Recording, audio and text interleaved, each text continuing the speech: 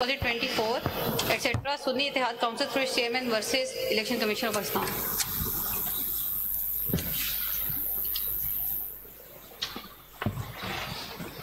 by a majority of eight, comprising Justice Sayyid Mansoor Ali Shah,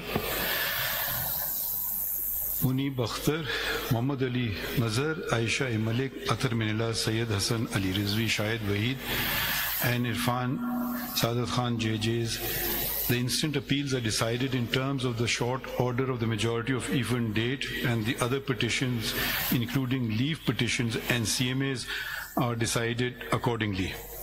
There are a number of orders, so I will let the senior person heading that particular order to read the entire order or whatever he wants to read therefrom. Shah Sahab, your, have a copy. is this original? जी मेरे पास तो नहीं है मेरे पास record है original मैंने आपको दी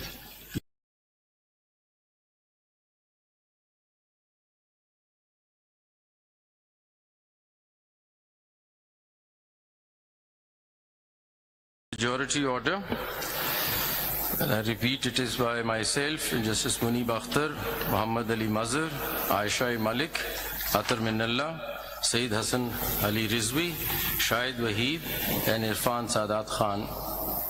For detailed reasons to be recorded later and subject to what is set out therein by way of amplification or explanation or otherwise, these appeals are decided in the following terms. Number one, the impugned judgment dated 25th of March 24 of the learned full bench of the High Court is set aside to the extent it is or may be inconsistent with this order or the detailed reasons. Number two, the order of the Election Commission of Pakistan dated 1st of March 2024 is declared to be ultra vires the constitution without lawful authority and of no legal effect. Three, the notifications of various dates whereby the persons respect, respectively mentioned therein, being the persons identified in the Commission's notification dated 13th of May 2024, have been declared to be returned candidates for reserved seats for women and minorities in the national and provincial assemblies are declared to be ultra vires the constitution without lawful authority and of no legal effect and are quashed from 6th of May 2024 onwards being the date an interim order was made by the court in CPLA number 13289 of 24 the leave petitions out of which the instant appeals arise. 4. It is declared that the lack or denial of an election symbol does not in any manner affect the constitutional and legal rights of a political party to participate in an election, whether general or by, and to field candidates and the Commission is under a constitutional duty to act and construe and apply all statutory provisions accordingly. Number five. It is declared that for the purposes and within the meaning of paragraphs D and E of clause 6 of Article 51 and paragraph C of clause 3 of Article 106 of the Constitution, Pakistan Tehreek-e-Insaf, PTI, was and is a political party which secured or won the two terms being interchangeable general seats in the national and provincial assemblies in the general elections of 2024 as herein after provided. Six, during the course of the hearing, of the instant appeals on 27th of June 2024, Learned Counsel for the Commission placed before the court a list of 80 returned candidates for the National Assembly, now MNAs, setting out in tabular form particulars relating to their election. Learned Counsel made a categorical statement that the Commission stood by the data so provided to the court. In particular, the list contained three columns marked as follows. Number one, statement on nomination form given declaration and oath by the person nominated, that is, I belong to. Number two, certificate of party affiliation under Section 66 of the Election Act 2017. And number three, statutory declaration affidavit accompanying Section 66 certificate. Number seven, in the peculiar facts and circumstances of the general election of 2024, it is declared that out of the aforesaid 80 returned candidates, now MNAs, those being 39 in all and whose particulars are set out in Annexure A of to this order, in respect of whom the Commission has shown PTI in any one of the aforementioned columns in the list were and are the returned candidates whose seats were and have been secured by the PTI within the meaning and for purposes of para 5 above in relation to Article 51 provisions. Para 8.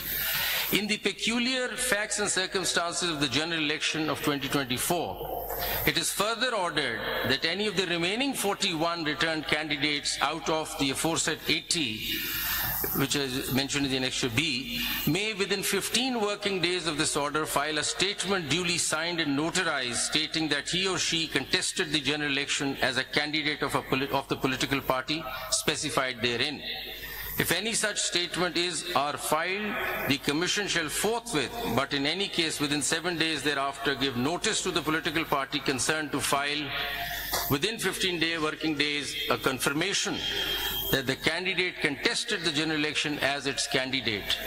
A political party may in any case, at any time after the filing of a statement as aforesaid of its own motion, file its confirmation. If such a statement is filed and is confirmed by the political party concerned, then the seat secured by such candidate shall be forthwith deemed to be the seat secured by that political party for the purposes of para 5 above in relation to Article 51 provisions. The Commission shall also forthwith issue and post on its website a list of returned candidates, now MNAs, and seats to which this para applies within seven days after the last date on which the political party may file its confirmation and shall simultaneously file a compliance report in the court paragraph 9. For the purposes of paragraph 5 of this order in relation to Article 51 provisions, the number of general seats secured by PTI shall be the total of the seats declared in terms of paragraph 7 and those, if any, to which paragraph 8 applies.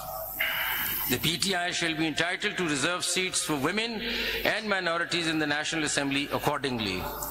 PTI shall, within 15 working days of this order, file its lists of candidates for the said reserved seats and the provisions of Election Act 2017 and the Election Rules 2017 shall be applied to such lists in such manner as gives effect to this order in full measure.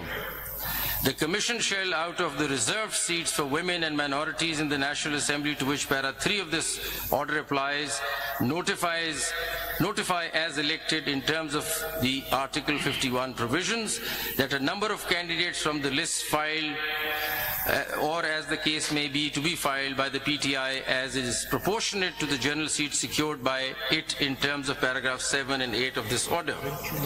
Paragraph 10. The foregoing paras shall apply mutatis mutandis for purposes of Article 106 in relation to PTI for the reserved seats for women and minority in Khyber Pakhtunkhwa, Punjab and Sindh provincial assemblies to which paragraph 3 of this order applies. In case the Commission or PTI need any clarification or order as to give effect to this para in full measure, it shall forthwith apply to the court by making an appropriate application, which shall be put before the judges constituting the majority in chambers for such orders and directions as may be deemed appropriate. Thank you. Yeah. Very grateful. Uh, now I call upon Justice Yahya Afridi, who's written a separate short order. We need to. You, you want to read it or you want to summarize it? Okay. For reasons to be recorded later, civil appeal number so and so, civil petition number so and so, CMA number so and so are dismissed in terms that Sunni Ittihad Council does not fulfill the conditions prescribed for a political party under the enabling provisions of the Constitution of Islamic Republic of Pakistan and the law to be allowed allocated reserved seats for women and non-Muslims in the National Assembly or the provincial assemblies.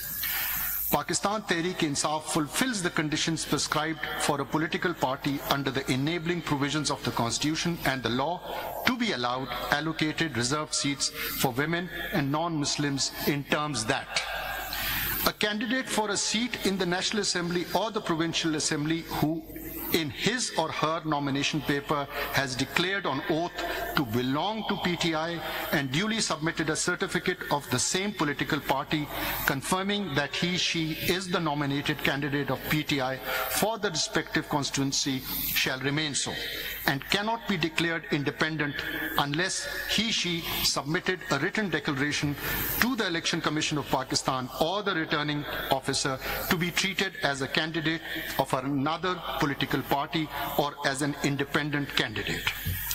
A returned candidate to a returned candidate to the National Assembly or the Provincial Assembly who in his nomination paper has declared on oath to belong to PTI and duly submitted a certificate of the same political party confirming that he she is the nominated candidate of PTI for the respective constituency shall remain so. And this consistent position maintained by a returned candidate throughout the electoral process should be legally recognized by the Election Commission of Pakistan. And such returned candidate cannot be treated as a returned candidate of any other political party or as an independent candidate, returned candidate. And thus, the reserved seats for women and non-Muslims are to be allocated, allotted to PTI accordingly.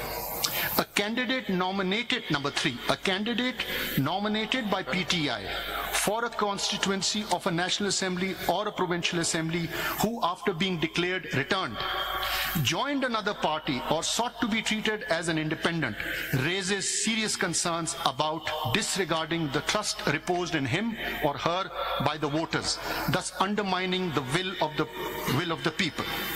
And number four, the legal implications, effects, consequences of the determination made above in paragraph 2.2 and 2.3, as well as the actions or inactions of Election Commission of Pakistan thereon, although deeply concerning, have not been challenged in the present appeals and petitions, and the persons who would be affected or aggrieved are not parties before this court.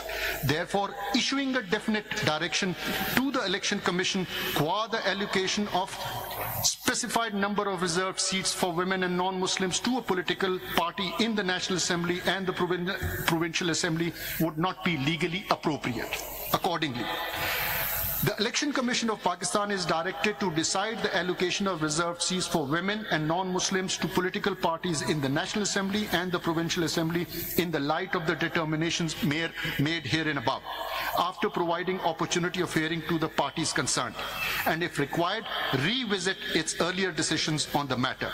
The needful be done within seven days of receipt of this order. Thank you. Uh, thank you. Justice Aminuddin Khan sir.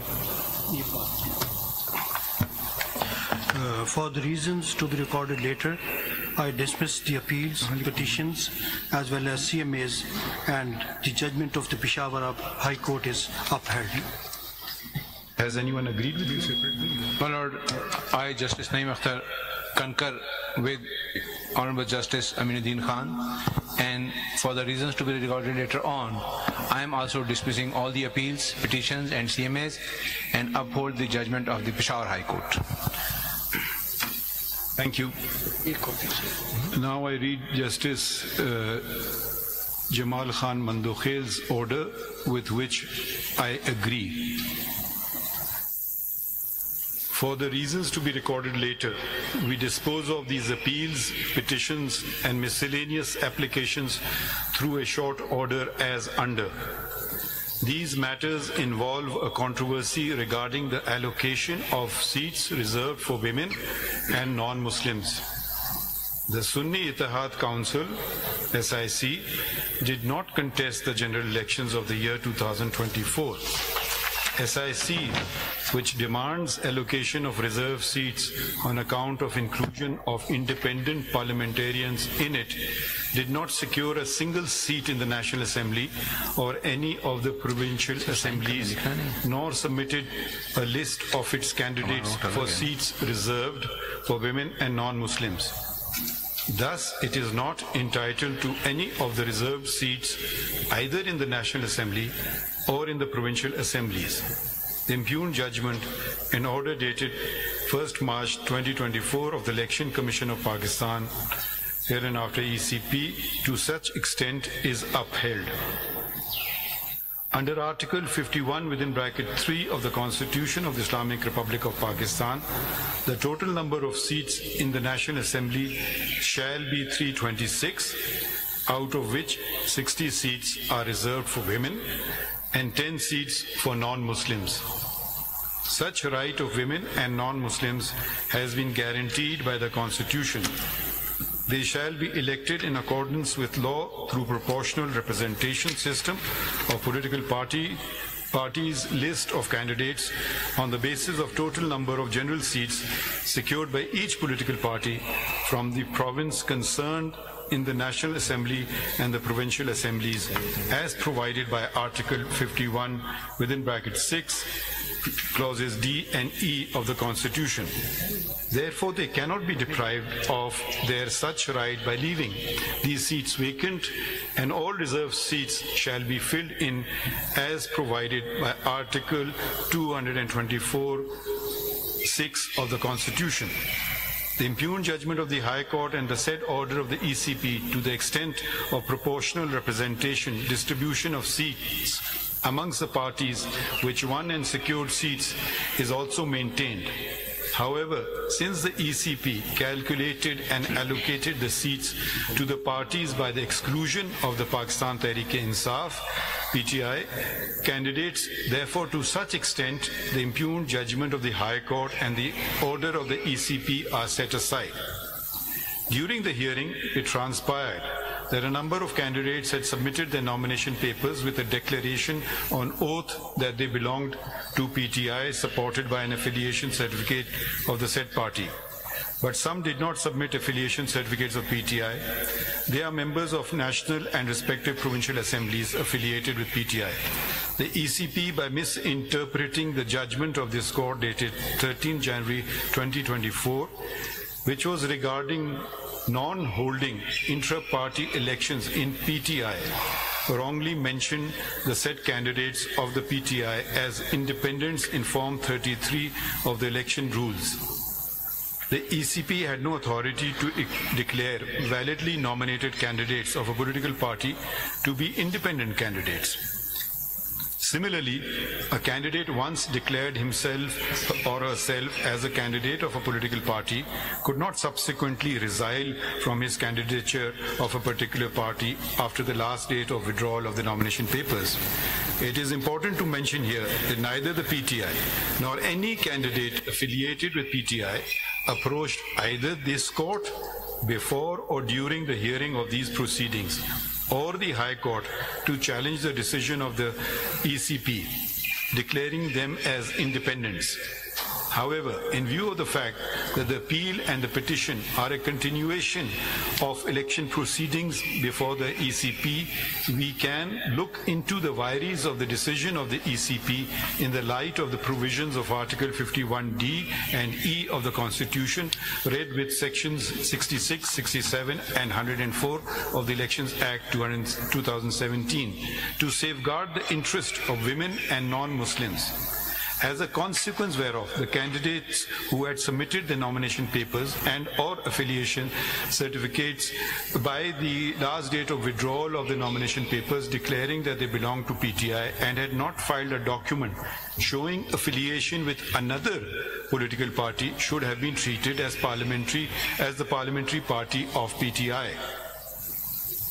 But needful was not done by the ECP. Consequently, the PTI as a parliamentary party is entitled to the reserve seats to such extent that ECP should recalculate and reallocate the reserve seat amongst the political parties, including the PTI, as provided by Article 51, 6D and E of the Constitution. The candidates who had submitted the nominations papers by 24 December 2023, which was the last date of submission of nomination papers, and had declared themselves either as the independent candidates or left blank the relevant column in the nomination papers declaration and were elected shall be considered to be independents. SIC is a registered political party and every independent member of parliament and the provincial assemblies has a right to join it. All those who joined the SIC are presumed to have done so out of their own free will. None of them claim to have joined SIC because of any misunderstanding of any judgment, the law, compulsion, coercion, or undue influence. And it is not for this court to presume otherwise. We must ensure that words are not read into the Constitution, nor to ascribe artificial meaning to commonly understood words. We must also abide by validly enacted laws and must not do anything either to hinder or to facilitate a political party by ignoring the law's mandate. I think this concludes today's proceedings. Thank you, everyone. Thank you, Sarah. Honor. Thank you so very much.